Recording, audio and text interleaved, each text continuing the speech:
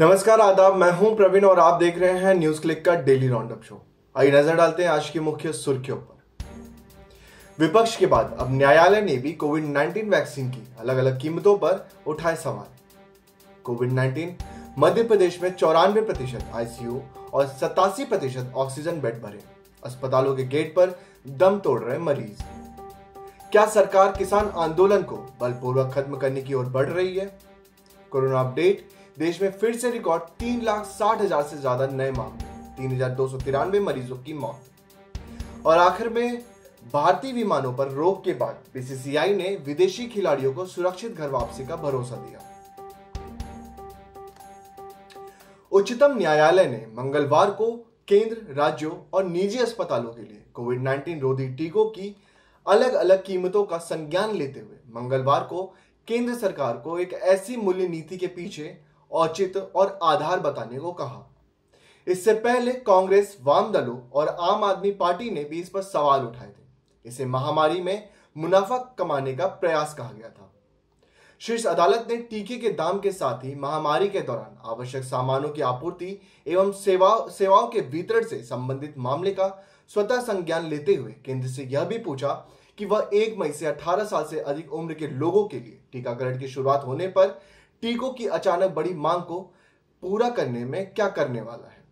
Video conference के ज़रिए सुनवाई में वरिष्ठ अधिवक्ता और सुप्रीम कोर्ट बार एसोसिएशन के अध्यक्ष विकास सिंह ने पीठ को बताया कि केंद्र, राज्यों और निजी अस्पतालों के लिए टीके की अलग अलग कीमतें निर्धारित की गई हैं।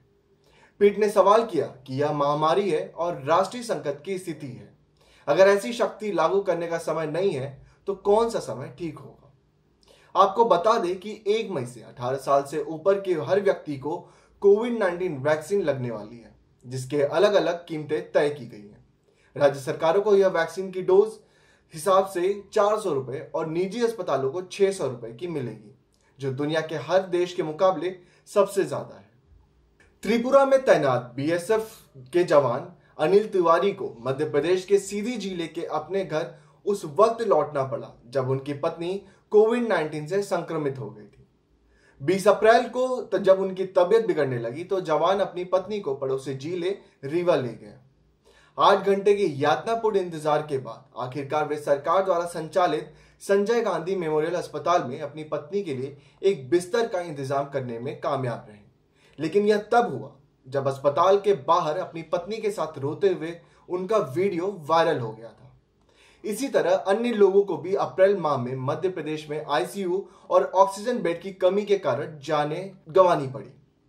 न्यूज़ क्लिक ने कोविड 19 की मॉनिटरिंग के लिए बने राज्य पोर्टल पर उपलब्ध आंकड़ों का आकलन किया और पाया कि 26 अप्रैल तक कुल आईसीयू बिस्तर यानी 9,350 से में से 5.60 प्रतिशत और 22,580 में से 13.7 प्रतिशत ऑक्सीजन बेड खाली थे। राज्य के तेईस जिलों में कोई आईसीयू बेड उपलब्ध नहीं है, जिनमें कोविड 19 से सबसे खराब प्रभावित ज़िले इंदौर, उज्जैन, रतलाम, विदिशा है, जबकि 10 ज़िले बालाघाट, भिंड, छतरपुर, गुना सहित में ऑक्सीजन बेड उपलब्ध नहीं है। आधिकारिक आंकड़ों के अनुसार विदिशा, बालाघाट, देवास और सिवनी सहित छह जिलों में न तो आईसीयू बेड उपलब्ध है और न ही ऑक्सीजन। इसी बीच दिल्ली से एक और निराश करने वाली खबर आ रही है। असल में दिल्ली में कोरोना महामारी से मची तबाही का मंजर शमशान घाटों पर लगातार देखने को मिल रहा है। स्थिति यह है कि लोगों को अपने प्रियजनों के शवों का दाह संस्कार करने के लिए 20-20 घंटों तक का इंतज़ार करना पड़ रहा है। यहाँ के एक शमशान घाट स्थल पर मंगलवार को पचास चिताएँ जली। वहाँ कई शव पड़े हुए थे और कई अन्य वहाँ खड़े वाहन में रखे हुए थे। केंद्रीय स्वास्थ्य मंत्रालय द्वारा आज बुधवार, यानी 28 अप्रैल को जारी आंकड़ों के अनुसार देश में पिछले 24 घंटों में कोरोना से फिर से रिकॉर्ड तीन लाख साठ हज़ार नौ सौ साठ नए मामले दर्ज किए गए इसके अलावा कोरोना से 24 घंटों में एक दिन की सबसे ज़्यादा, यानी तीन हज़ार दो सौ तिरानवे मरीजों की मौत हुई है। हालाँकि इसी बीच कोरोना से पीड़ित दो लाख इकसठ हज़ार एक सौ बासठ मरीजों को ठीक किया गया है और एक्टिव मामलों में छियानवे हज़ार पाँच सौ पाँच मामलों की बढ़ोतरी हुई है। देश में नए मामलों के साथ साथ मौत के आंकड़े भी बहुत तेज़ी से बढ़ रहे हैं। महाराष्ट्र में आज फिर से रिकॉर्ड आठ सौ पंचानवे मरीजों की मौत हुई है। दिल्ली में भी 24 घंटों में तीन सौ इक्यासी मरीजों की मौत हो चुकी है। वहीं उत्तर प्रदेश में दो सौ चौसठ छत्तीसगढ़ में 246 और कर्नाटक में 180, गुजरात में 170, झारखंड में 131, राजस्थान में 121 और पंजाब में 100 मरीजों की मौत हो चुकी है। देश में कुल संक्रमित मरीजों की संख्या बढ़कर एक करोड़ उन्यासी लाख संतानवे हज़ार दो सौ सड़सठ हो गई है, जिनमें से दो लाख एक हज़ार एक सौ सतासी मरीजों की मौत हो चुकी है। देश में रिकवरी रेट घटकर बयासी दशमलव तीन तीन फ़ीसदी हो गया है। यानी कोरोना से पीड़ित एक करोड़ अड़तालीस लाख सत्रह हज़ार तीन सौ इकहत्तर मरीजों को ठीक किया जा चुका है। इसी के साथ देश में अब एक्टिव मामलों की संख्या बढ़कर सोलह दशमलव पाँच पाँच फ़ीसदी, यानी उनतीस लाख अठहत्तर हज़ार सात सौ नौ हो गई है। किसान आंदोलन के 150वें दिन पूरे होने पर संयुक्त किसान मोर्चा ने जो बयान जारी किया है, उसने एक बार फिर साबित किया कि ऐसे समय में जब सरकार ने देश की जनता को मरने के लिए छोड़ दिया है, तब मानव मूल्य अगर कहीं ज़िंदा है तो वह किसान आंदोलन जैसे जन सरोकार के मंच पर ही है। महामारी से तो देश पहले ही हलकान है।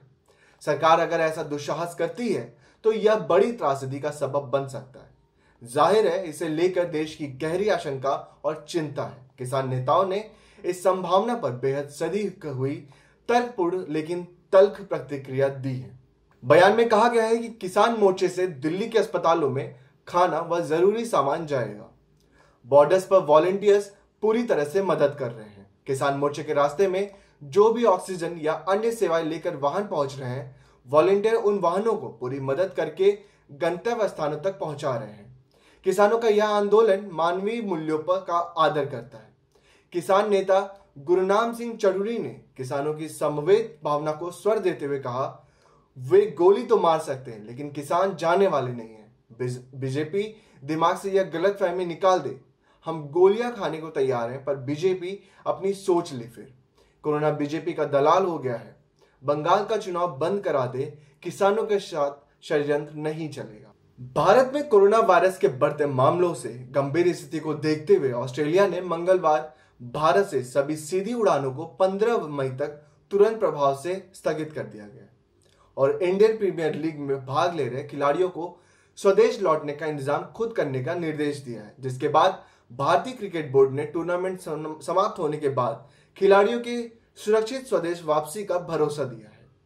बीसीसीआई का यह बयान तीन ऑस्ट्रेलियाई खिलाड़ियों के स्वदेश लौट जाने के बाद आया है।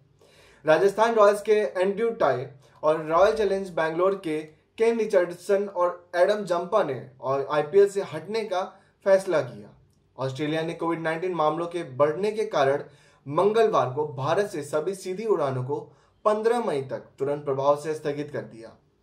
बीसीसीआई सीईओ हेमांग अमीन ने खिलाड़ियों को संबोधित पत्र में कहा हम जानते हैं कि आप में से कई इस बात को लेकर आशंकित हैं कि टूर्नामेंट समाप्त होने के बाद स्वदेश कैसे लौटेंगे।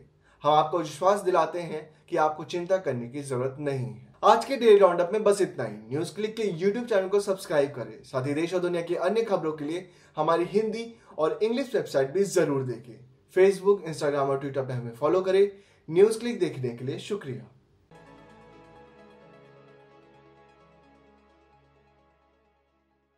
You